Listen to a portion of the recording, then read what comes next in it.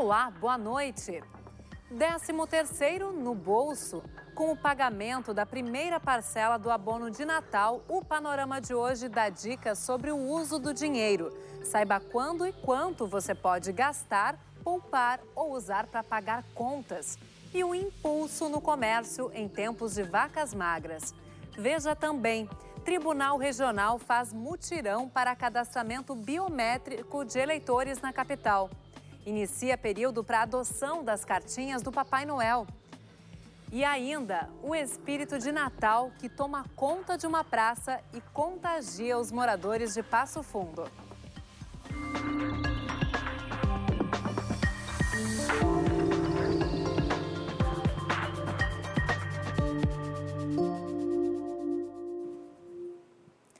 O Tribunal Regional Eleitoral iniciou hoje um mutirão em Porto Alegre para aumentar o índice de cadastramento no sistema biométrico. O atendimento ao público acontece até a próxima sexta-feira no campus da PUC. Até agora, apenas 10% dos eleitores da capital registraram a sua digital. O município tem prazo até 2022 para concluir o processo. O cadastramento biométrico no prédio 11 da PUC vai até a próxima sexta-feira, das 9 horas da manhã às 5 horas da tarde. O atendimento pode ser pré-agendado na página do TRE do Rio Grande do Sul na internet, o que evita filas. É preciso apresentar documento de identidade, comprovante de residência e título de eleitor. O processo dura em torno de 10 minutos, com a conferência dos dados, a captação eletrônica de digitais, assinatura e fotografia. O novo título eleitoral é impresso na hora e substitui o anterior. Porto Alegre tem até o ano de 2022 para recadastrar todos os eleitores. Por enquanto, apenas 10% do total fizeram a biometria.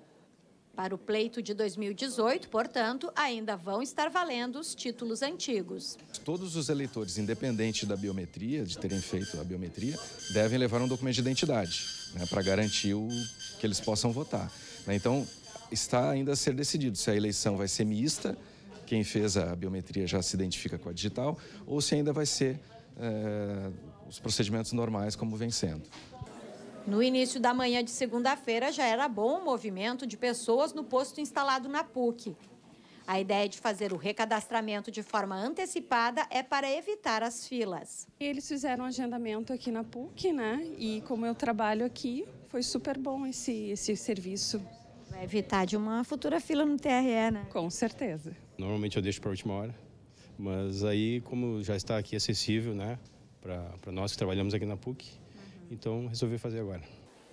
O cadastramento biométrico também pode ser feito em uma das três centrais de atendimento ao eleitor do TRE de Porto Alegre, mediante agendamento prévio no site ou no telefone 148. Os endereços são Avenida Padre Cacique, número 96, no bairro Menino Deus. No segundo andar do Shopping Praia de Belas, ao lado do posto dos passaportes ou no Tudo Fácil da Zona Norte, em frente ao Hospital Cristo Redentor.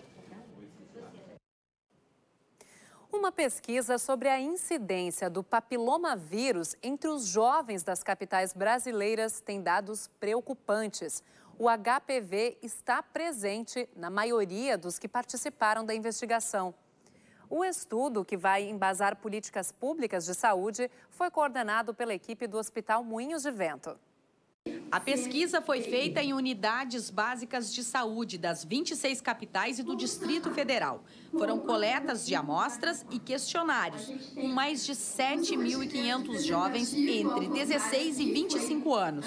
Pelo resultado parcial, 55% desta população tem o papilomavírus, o HPV. E o mais preocupante é que 38% tem um tipo de vírus com alto risco para desenvolver câncer. Em Porto Alegre, os números aumentam. A prevalência para o HPV é de 57% e a presença de tipos de alto risco é de 39%. O HPV a gente pega através de relações sexuais desprotegidas. Né? Então, o que é esse risco? O risco de pegar HPV ele está associado ao, ao sexo inseguro E a infecção pelo HPV, por sua vez, ela aumenta o risco de desenvolvimento de câncer. O HPV é uma infecção que ela uh, tá, ocorre em todas as faixas etárias e em todo o país, nas diferentes, né, todas as capitais do Brasil, uh, independente de raça e, e de sexo. Né? A gente viu que ele então é uma infecção que está afetando muito essa população, que é uma população jovem, isso é outra coisa muito importante, é uma população jovem e que está sob o risco de desenvolver um câncer precocemente. Os dados são preliminares e o resultado final deve ser divulgado até abril de 2018. Este é o primeiro estudo epidemiológico do Ministério da Saúde sobre o HPV e é conduzido pela equipe do Hospital Moinhos de Vento de Porto Alegre. O objetivo é criar os parâmetros para medir em uma segunda rodada da pesquisa, entre 3 e 5 anos, os impactos da vacinação de adolescentes e jovens na rede pública. Além disso, o impacto da vacinação, é, tanto para meninos e meninas, ele é importante sob o ponto de vista de redução da frequência das verrugas genitais, do chamado condiloma culminado. Então, essa pesquisa, ela também vai medir esse impacto. E a mais longo prazo, a queda da mortalidade por câncer de colo e pênis. Aqui para vocês. A prevenção e o autoexame ainda são as melhores medidas para se manter bem longe ou diagnosticar cedo uma das doenças que mais mata no mundo. No Dia Nacional de Combate ao Câncer, a TV Univates nos conta uma história de superação e mostra o trabalho de uma entidade que ajuda a salvar vidas.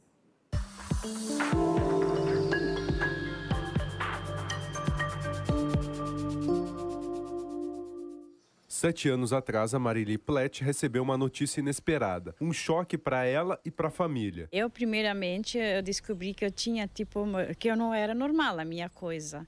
Aí eu procurei médico. Daí fiz os exames de novo, tudo.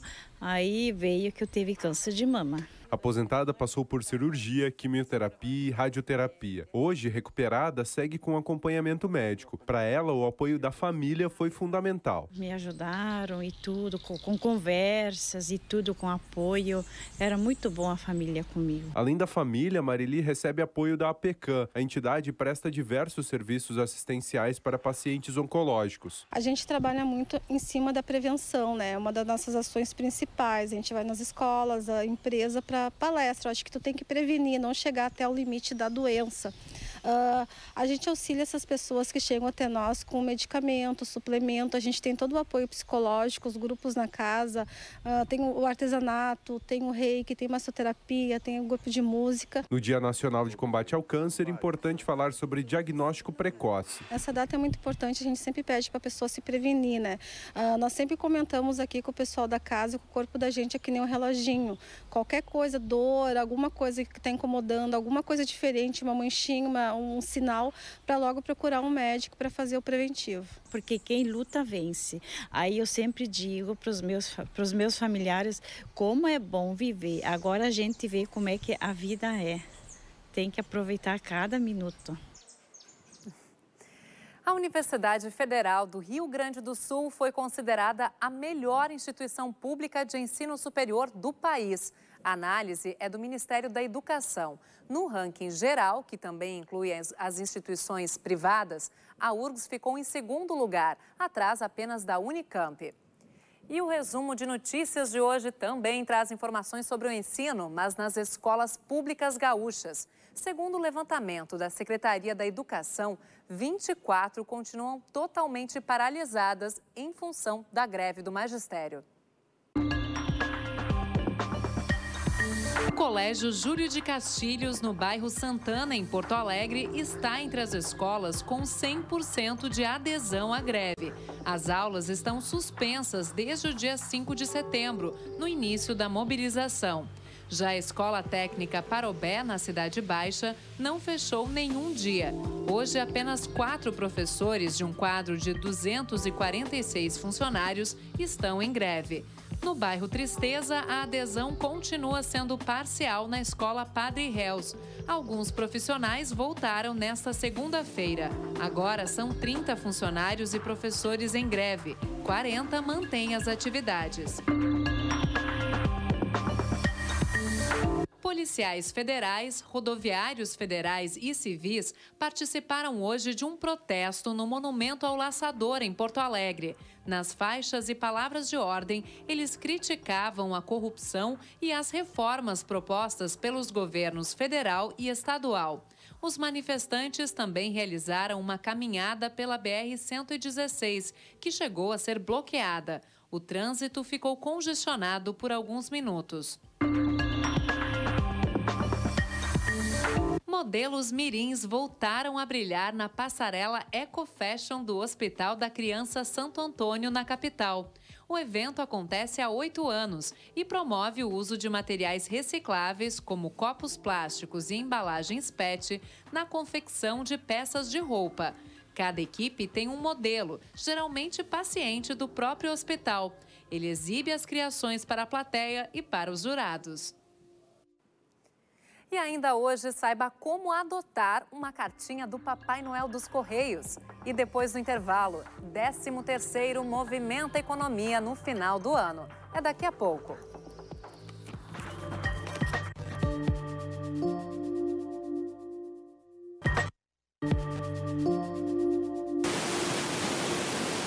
13º salário está chegando e já tem muita gente coçando o bolso. O apelo para o consumo é grande nessa época do ano. Mas em tempos de vacas magras, o dinheiro extra pode ajudar muitos endividados a sair do sufoco. O difícil é resistir à tentação. Em promoção?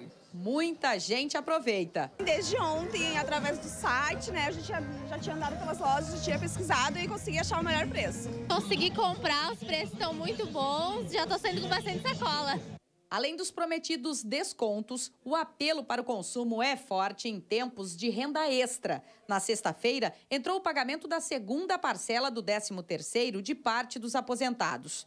30 de novembro é o último prazo para o depósito da primeira parcela do salário extra para todos os trabalhadores. Quando for quitado até 20 de dezembro, o 13º vai representar quase 13 bilhões de reais na economia gaúcha, segundo o Diese. Dinheiro na conta e vem os planos. Guardar uma parte, porque vai vir pequeno, né? Que eu comecei agora a retornar no trabalho.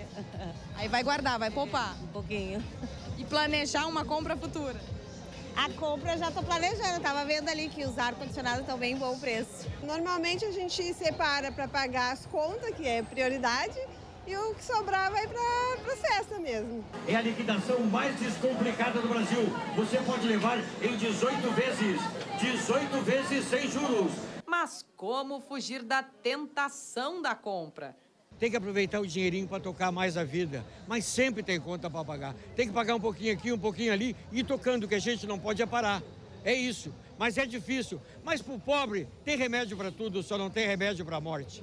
Para os especialistas, usar a renda extra para pagar e evitar juros antes de comprar é sempre a melhor escolha. A pessoa que está com endividamento, em hipótese alguma, deve pensar em outra coisa senão pagar suas contas. Porque é preciso pensar agora, no final de ano e no início do ano seguinte, de que as contas mais altas e mais pesadas do orçamento acontecem agora. E a pessoa precisa eliminar as suas dívidas para poder começar o ano com uma conta positiva. Se os juros mensais forem de 10%, e existem, a dívida dobra em sete meses. Então, como está muito mais alto que isso, a atenção tem que ser redobrada. A dona Arlete não quer mais ficar devendo. Ela foi hoje ao feirão da dívida zero, da CDL, para negociar direto com o banco uma conta que o filho fez no nome dela. Pretendo ajudar ele, né? Ver como é que vão ficar as parcelas depois e, com... e ajudar ele a pagar, né?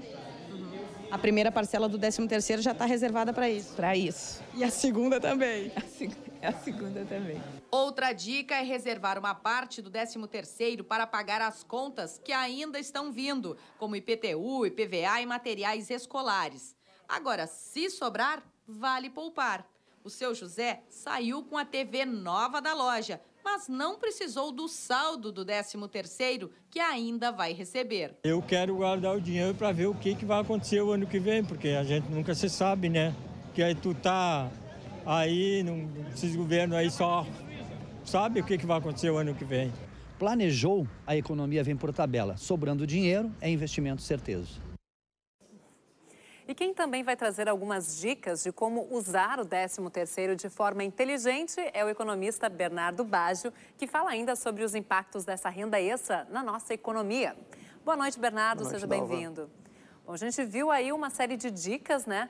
Quais seriam as prioridades, então, para quem está planejando como gastar? Primeiro é dívida e depois? Certamente. O primeiro é fazer o pagamento das dívidas, como colocado na matéria, são as dívidas com maior, com a taxa de juros mais alta, mais altas e prejudicam bastante dentro do orçamento familiar, porque ela come boa parte, o juro come boa parte daquele orçamento familiar. Então, tirar esse peso que as famílias têm sobre o seu orçamento é a primeira, a primeira medida a ser tomada.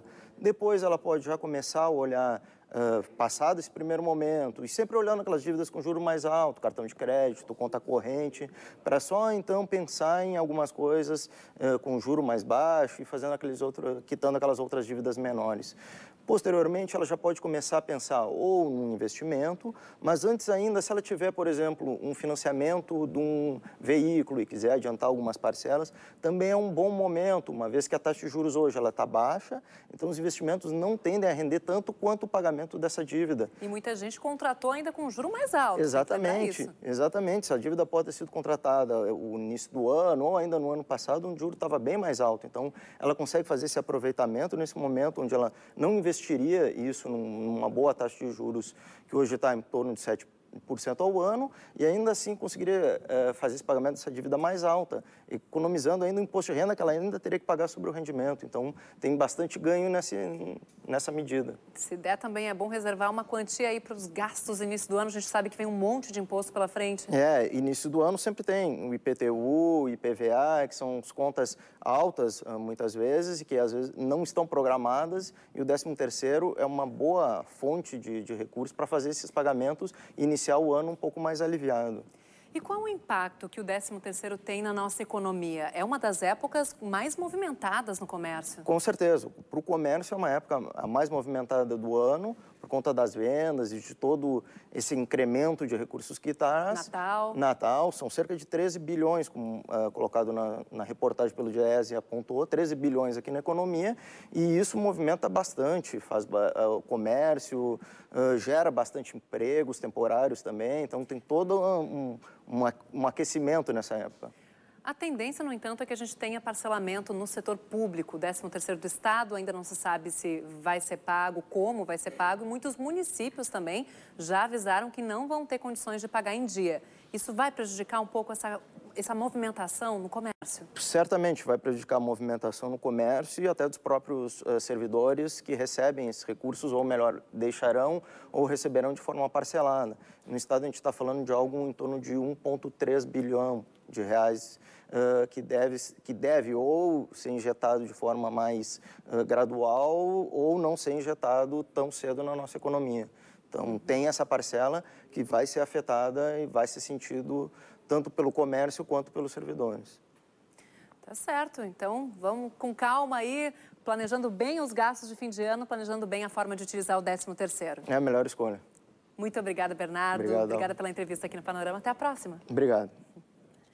E depois do intervalo, veja a previsão do tempo para amanhã aqui no estado.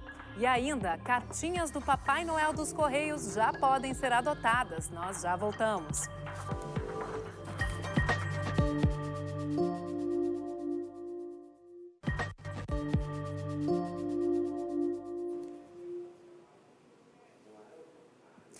A semana começou com tempo firme aqui no estado e amanhã deve continuar assim, como a gente confere agora aqui no mapa. A terça-feira vai ser de sol entre nuvens em todo o Rio Grande do Sul. Não chove, mas o dia deve alternar aberturas de sol com períodos de céu nublado, principalmente na faixa leste. E como o vento sopra de sul, as temperaturas não vão subir muito. Em Porto Alegre, a máxima não deve passar dos 22 graus.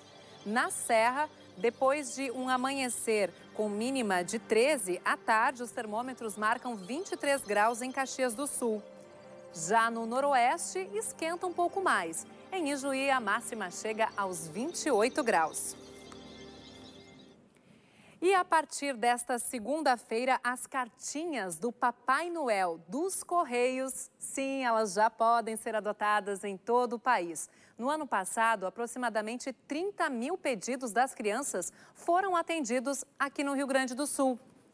A campanha contempla estudantes das escolas públicas até a quinta série e instituições parceiras, como creches, abrigos e orfanatos. Está feito o chamado. O Papai Noel e os Correios estão convocando para mais uma campanha de adoção das cartinhas que viram presentes de Natal para crianças carentes. E já tem gente com a listinha dos pedidos pronta. Eu pedi um monte de pistache Hot Wheels. E tu sabe se tu vai ganhar? Acho que sim. Eu vou pedir o Hulk e o, e o Capitão América. E tu vai ganhar? O lançamento da campanha foi com circo e música. O projeto existe há 28 anos e depende da participação da comunidade. Os funcionários dos Correios, sensibilizados com as cartinhas que as crianças endereçavam ao Papai Noel, começaram a abrir as cartas, fazer a leitura e entregar os presentes. Se cotizavam, né, voluntariamente entregavam os presentes. Só que a cada ano essa campanha foi crescendo e somente com os funcionários dos Correios a gente já não dava mais conta de atender os pedidos. Então nós abrimos para a sociedade e desde 2015 nós estamos com a campanha muito mais voltada para instituições de educação. 27 mil cartas com pedidos para o Papai Noel já esperam para ser adotadas em mais de 90 cidades do estado.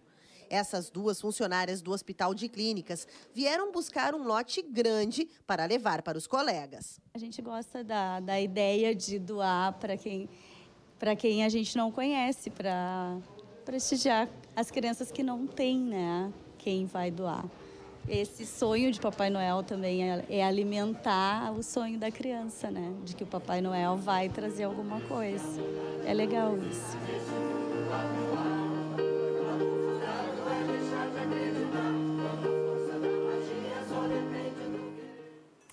Natal ecológico para reunir a família e os amigos. Assim é o Natal do Boqueirão Legal, em Passo Fundo, na região norte. Há 10 anos, uma praça da cidade ganha cores e um toque de sustentabilidade para receber os visitantes. Vai ser assim até o dia 17 de dezembro. É o que a gente mostra agora na reportagem da UPF TV.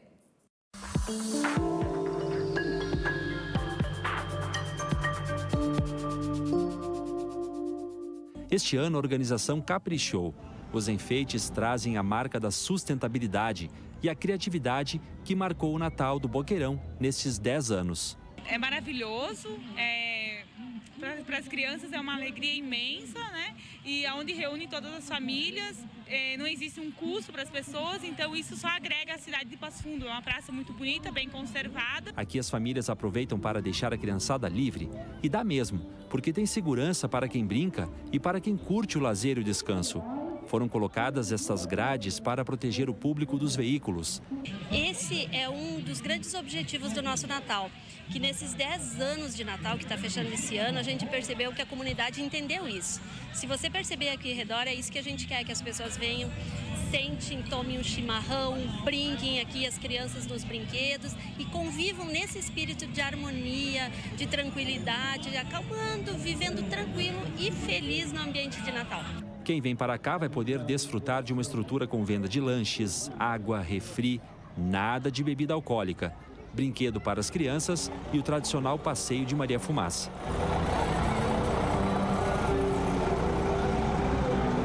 Tem ainda erva mate e água quente para o chimarrão. Isso tudo em meio ao canteiro e o espaço da ciclovia. É uma integração que movimenta a cidade e o comércio.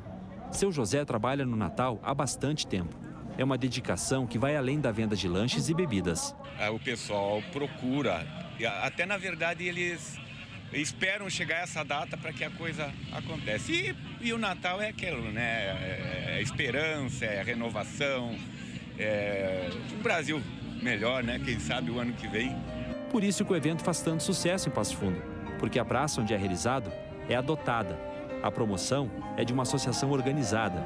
E o mais legal disso tudo é que o público adotou a causa. Assim, fica tudo bem.